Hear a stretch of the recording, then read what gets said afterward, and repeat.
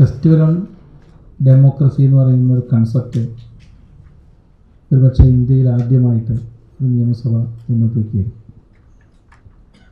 എന്തുകൊണ്ട് on democracy എന്നുള്ള ചോദ്യം തന്നെ ഇന്നലെ തന്നെ ഒരു മാധ്യമത്തിൽ നിന്ന് ചോദിക്കുന്നുണ്ട്. ഫെസ്റ്റിവൽ ഓഫ് ഡെമോക്രസിക്ക് പകരം ഫെസ്റ്റിവൽ ഓൺ ഡെമോക്രസി ആയിരുന്നുണ്ട് ഫെസ്റ്റിവൽ ഓഫ് ഡെമോക്രസി എന്ന് പറയുമ്പോൾ നിലവിലുള്ള ജനാധിപത്യത്തെ സംബന്ധിച്ചുള്ള സംവാദങ്ങൾക്കും അന്വേഷണങ്ങൾക്കും മാത്രമേ സാധ്യതയുള്ളൂ. ഓൺ ഡെമോക്രസി എന്ന് പറയുന്നതോടുകൂടി ജനാധിപത്യം എന്ന് പറയുന്ന സങ്കല്പത്തെ ആശയത്തെ എത്രത്തോളം ഏതെല്ലാം തലത്തിൽ നമുക്ക് ഉയർത്തിക്കൊണ്ടുവരാൻ കഴിയുമെന്നതിന്റെ എല്ലാ സാധ്യതകളും എക്സ്പ്ലോർ ചെയ്യാൻ പറ്റുന്ന ഒരു സമ്മേളനങ്ങളുടെ നിര കൊണ്ടുവരാൻ കഴിയുമെന്നുള്ളത് കൊണ്ടാണ് പ്രിപ്പോസിഷൻ ഓണാക്കി ജനാധിപത്യം നമുക്കെല്ലാവർക്കും ഒരു പൊളിറ്റിക്കൽ സിസ്റ്റമാണ് പക്ഷെ ഒരു പൊളിറ്റിക്കൽ സിസ്റ്റം എന്നുള്ള നിലയിൽ മാത്രമല്ലാതെ ഒരു മൂല്യ വ്യവസ്ഥിതി എന്ന നിലയിൽ ജനാധിപത്യം സമൂഹത്തിൽ സാന്നിധ്യം പുലർത്തേണ്ടതുണ്ട്.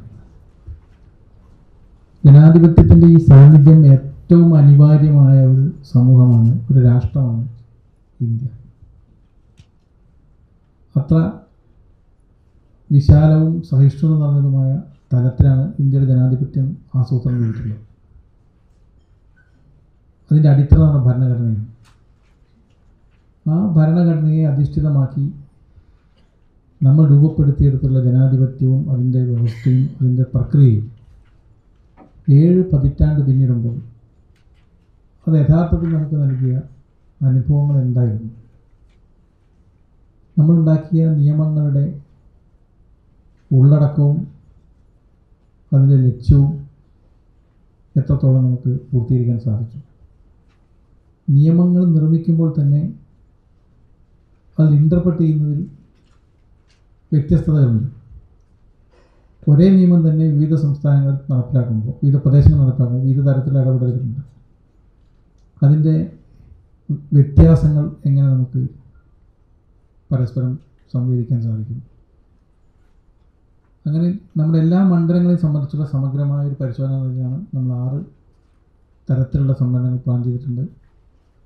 അതിൽ ഒന്നാമത്തെ സമ്മേളനമാണ് ഈ പൊതുപരിപാടിയുടെ പൊതു ഉദ്ഘാടനത്തിന്റെ ഭാഗമായിട്ട് നമ്മുടെ രാജ്യത്തിന്റെ പട്ടികജാതി പട്ടികവർഗ മേഖലകളിലെ അവസ്ഥയെ സംബന്ധിച്ചുള്ള ഒരു സൂക്ഷ്മ പരിശോധനയ്ക്ക് വിധേയമാക്കുന്നു. നമ്മുടെ ജനസംഖ്യ ഏതാണ്ട് ഇരുപത് കോടി വരുന്ന ഈ സമൂഹം പാർശ്വവൽക്കരിക്കപ്പെടുകയും സാമൂഹ്യമായും സാമ്പത്തികമായും പുറകിലേക്ക് വലിച്ചു മാറ്റപ്പെടുകയും ചെയ്തത് ചരിത്രപരമായ കാരണങ്ങളുണ്ടാണ് അതിൽ നിന്നുള്ള ഒരു മാറ്റത്തിന് വേണ്ടിയുള്ള വലിയ ആസൂത്രണമാണ് യഥാർത്ഥത്തിൽ ഭരണഘടന പ്ലാൻ ചെയ്തിട്ടുള്ളത്.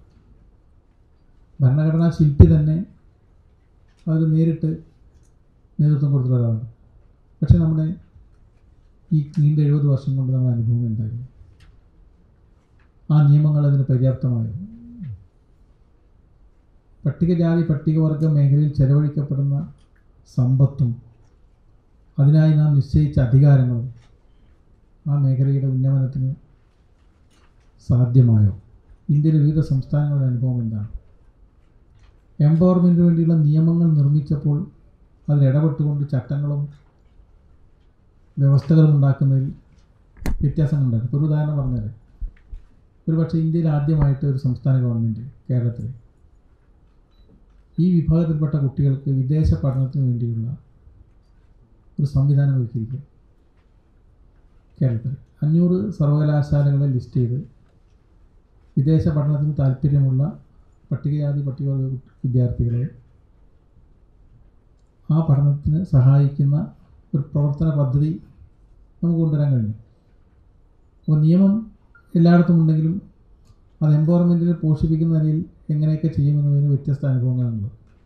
ഇത്തരം സംഗതികളെക്കുറിച്ചുള്ള ഒരു സൂക്ഷ്മ പരിശോ പരിശോധനയ്ക്കും വിവിധ സംസ്ഥാനങ്ങൾ തമ്മിലുള്ള അനുഭവങ്ങളുടെ വിനിമയത്തിനും അവസരമൊരുക്കുകയും അങ്ങനെ ഈ സമ്മേളനത്തിനൊരു ഒരു ഔട്ട്പുട്ട് നമുക്ക് ഇന്ത്യയിലെ മറ്റ് സംസ്ഥാനങ്ങൾ കൂടി ലഭ്യമാക്കുന്ന നിലയിൽ രൂപീകരിക്കണമെന്നാണ് ഉദ്ദേശിക്കുന്നത്. അതിന്റെ വിശദാംശങ്ങളും കാര്യങ്ങളും നാല് കോൺഫറൻസുകളായിട്ടാണ് നമ്മൾ പ്രസിഡന്റിന്റെ ഉദ്ഘാടനത്തിന് ശേഷം നാല് മേഖലാ കോൺഫറൻസുകളായിട്ടാണ് ചേരുന്നത്. ഇന്ത്യയിലെ ഏതാണ്ട് ഇരുപത്തി മൂന്ന് സംസ്ഥാനങ്ങളിൽ നിന്ന് നാൽപ്പത്തിയാറ് അല്ലേ നാൽപ്പത്തിയാറ് എം എൽ എമാരുടെ പങ്കാളിത്തം ഉറപ്പാക്കേണ്ട കേരളത്തിന്റെ പുറത്ത്. ഓരോ ഓരോ നിയമസഭകളെയും പ്രതി- പ്രതിനിധാനം ചെയ്ത് ഈ മേഖലയിൽ പ്രവർത്തിക്കുന്നവരും ഈ മേഖലയിൽ നിന്നുള്ളവരുമായിരിക്കും ഒരു പങ്കാളികളാവുക. എം പിമാർ കുറച്ച് പേര് വരുന്നുണ്ട്. പക്ഷേ പാർലമെന്റ് ആണെന്നതിന്റെ ഒരു ബുദ്ധിമുട്ട് ഉണ്ട്. ഈ മേഖലയിൽ കേന്ദ്രീകരിച്ച് പ്രവർത്തിക്കുന്ന മറ്റ് ആക്ടിവിസ്റ്റുകളൊക്കെ നമ്മൾ ക്ഷണിച്ചിട്ടുണ്ട് അങ്ങനെയുള്ളൊരു സമ്മേളനമാണ് ഒന്നാമത്തെ സമ്മേളനം. ഇതിന്റെ തുടർച്ചയായിട്ട് ഇതേ നിലയിൽ തന്നെ വനിതാ ശാക്തീകരണത്തിന് അനുഭവങ്ങൾ പരിശോധിക്കുന്ന സമ്മേളനം. ദേശീയ സ്റ്റുഡന്റ് പാർലമെന്റ് ഇന്ത്യയിലെ പ്രധാനപ്പെട്ട സർവകലാശാലകളിൽ നിന്ന് സെലക്ട് ചെയ്യപ്പെട്ട മൂവായിരത്തോളം വരുന്ന കുട്ടികൾ പങ്കെടുക്കുന്ന വിദ്യാർത്ഥികൾ യുവാക്കൾ പങ്കെടുക്കുന്ന ഇന്ത്യൻ യുവത്വത്തിന്റെ ഒരു ഒരു പരിച്ഛേദം എന്ന നിലയിൽ സംഘടിപ്പിക്കുന്ന ഒരു പാർലമെന്റ് മൂന്ന് ദിവസമാണ് അത് ഉദ്ദേശിക്കുന്നത്. സാധാരണ ഒരു മോക്ക് പാർലമെന്റോ പാർലമെന്ററി നടപടിക്രമങ്ങളെക്കുറിച്ചുള്ള പഠന പരിപാടിയാണ് ചെയ്യാറ്. ഇതങ്ങനെ വ്യത്യസ്ത വിഷയങ്ങളെ കേന്ദ്രീകരിച്ചുകൊണ്ടുള്ള ഒരു പാർലമെന്റായിട്ടാണ് ആസൂത്രണം ചെയ്തിട്ടുള്ളത്. മാധ്യമങ്ങളുടെ ഒരു സംവാദവും അതിന്റെ അനുബന്ധമായിട്ട് പിന്നീട് വരുന്നുണ്ട്. അത് നേരിട്ട് നിയമസഭാ സെക്രട്ടറി നടത്തുന്ന നിലയിലല്ല. നമ്മുടെ ജേർണലിസ്റ്റ് യൂണിയനും മാധ്യമ പ്രവർത്തകരുടെ വ്യത്യസ്ത വേദികളും ഫോറങ്ങളും എല്ലാം ചേർന്നുകൊണ്ട് ജനാധിപത്യത്തിൽ മാധ്യമങ്ങളുടെ സാധ്യതയും ചുമതലകളും എല്ലാം ഒരു വിശകലന വിധേയമാക്കുന്ന നിലയിലുള്ള ഇൻ ബിറ്റ്വീൻ മീഡിയ പ്രവർത്തകർക്കിടയിലുള്ളൊരു ഒരു കോൺക്ലേവ് ഒരു ഒരു വർക്ക്ഷോപ്പ് പോലെയാണത്. നമ്മൾ ആലോചിച്ചിട്ടുള്ളത് ആഗ്രഹിച്ചത് അതിന്റെ ഗൃഹപാഠം തുടങ്ങിയിട്ടില്ല. അതുപോലെ തന്നെ പാർലമെന്റിൽ നടപടിക്രമങ്ങൾ. യാന്ത്രികമായിട്ട് പാർലമെന്റ് നടപടിക്രമങ്ങൾ പാലിക്കുന്നവരുണ്ട്. നിയമസഭ പത്ത് ദിവസം ഒരു വർഷത്തിൽ ചേരുന്ന നിയമസഭകളുണ്ട്. നമ്മളിപ്പം നൂറ്റി അൻപത് ദിവസം കഴിഞ്ഞ രണ്ട് വർഷത്തേക്ക് സഭ ചേർന്നു. മാർച്ച് മുപ്പത്തിയൊന്നിനുള്ളിൽ ഈ ബഡ്ജറ്റുമായി ബന്ധപ്പെട്ട എല്ലാ നടപടിക്രമങ്ങളും പൂർത്തീകരിച്ച് ഏപ്രിൽ മാസത്തിൽ പദ്ധതി പ്രവർത്തനം ആരംഭിക്കുന്നവർക്ക് കാര്യങ്ങൾ എത്തിക്കാൻ സാധിച്ചു. അങ്ങനെ നിയമസഭയുടെ രീതികളെ മാറ്റുന്നതിൽ നമ്മൾ കുറേ കാര്യങ്ങൾ മുന്നിട്ടുണ്ട് ഉദാഹരണത്തിന് ഏറ്റവും അവസാനം ട്രാൻസ്ജെൻഡേഴ്സിന്റെ പാർലമെന്റ് നിയമം പാസ്സാക്കിയെങ്കിലും ഇന്ത്യയിൽ എവിടെയും ട്രാൻസ്ജെൻഡേഴ്സിന്റെ പ്രശ്നത്തെ അഭിസംബോധന ചെയ്യുന്ന ഒരു നിയമസഭാ സമിതിയില്ല. കേരളത്തിലത് ചട്ടങ്ങളിൽ ഭേദഗതി വരുത്തി കുട്ടികളുടെയും സ്ത്രീകളുടെയും സമിതിയുടെ ഭാഗമായിട്ട് അതിനെ ഉൾപ്പെടുത്തുകയും അവരുടെ പരാതികൾ കൂടി കേൾക്കാനും പരിഹരിക്കാനും അതിന് നിയമപരമായി ഇടപെടാനും ശേഷിയുള്ള ഒരു നിയമസഭാ സമിതിയെ രാജ്യത്തിന്റെ ചരിത്രത്തിൽ ആദ്യമായിട്ട് നമ്മളിപ്പോൾ രൂപീകരിച്ചു. നിയമസഭാ സമിതികളുടെ പാർലമെന്റിൽ പോലും ആ സമിതി ഉണ്ടായിട്ടില്ല. നിയമസഭാ സമിതികളുടെ റിപ്പോർട്ടുകൾ യഥാർത്ഥത്തിൽ ചർച്ച ചെയ്യേണ്ടതാണ്. അത് ചർച്ച ചെയ്യുന്നൊരു ശീലം നമ്മൾ തുടങ്ങി വെച്ചു.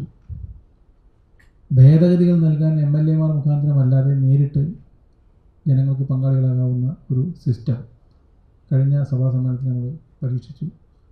നിരവധി ഭേദഗതികൾ വന്ന് നമ്മൾ സമാഹരിച്ച് മന്ത്രിമാരുടെ ഓഫീസുകളിൽ കൊടുക്കുന്ന സാഹചര്യം ഉണ്ടായി. കുറേ കാര്യങ്ങൾ നമ്മൾ മാറ്റം വരുത്താൻ ശ്രമിച്ചുകൊണ്ടിരിക്കുന്നുണ്ട്. ഈ മാറ്റങ്ങൾ ഉൾപ്പെടുന്ന ഓരോ സംസ്ഥാനത്തും വ്യത്യസ്ത അഭിപ്രായങ്ങളുണ്ട്. വ്യത്യസ്ത മാറ്റങ്ങളും സാധ്യതകളും ഉള്ളവരുണ്ട്. അതിന്റെ ഒരു സമ്മേളനം കൂടി ഇതിന്റെ ഭാഗമായിട്ട് ചേരും. കേരള വികസനത്തിന്റെ ഒരു പൊതുവായ സംവാദം രൂപീകരിക്കാൻ നിയമസഭാ സെക്രട്ടേറിയറ്റിന് സാധിക്കുമോ എന്നുള്ളൊരു പരിശോധനയാണ് ഇതിന്റെ അവസാനത്തെ സമ്മേളനം. A consensus conclave on Kerala development Kerala വികസനത്തിന് വേണ്ടിയുള്ള ഒരു സമവായ സംവാദം.